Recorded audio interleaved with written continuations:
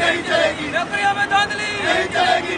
लेके रहेगा लेके रहेगा। जम्मू अपना हक। लेके रहेगा लेके रहेगा। जम्मू अपना हक। लेके रहेगा लेके के फायर सर्विस हाय हाय। जम्मू अपना हक। लेके रहेगा लेके रहेगा। जम्मू अपना हक। लेके रहेगा लेके रहेगा। नौकरियों में दादरी नहीं चलेगी नहीं चलेगी। J and K fire service services में जो तथाकथित की गई धांधली है ये उसके विरोध में है। ये जो नौकरशाह जो द्वारा अपने ऑफ़िस में एसी ऑफ़िस में बैठ के जो लिस्ट निकाली गई है, जिसमें भरपूर करप्शन की गई है, आप खुद अंदाज़ा लगाइए, तीन की लिस्ट निकली है, जिसमें से 200 सिर्फ़ बड़गांव डिस्ट्रिक्ट की है। मुझे बहुत आश्चर्यचकित हूँ कि जो लोग पूरे दिन रात पत्थर मारते हैं और 200 से ज़्यादा अपना मेरिट भी बना लेते हैं।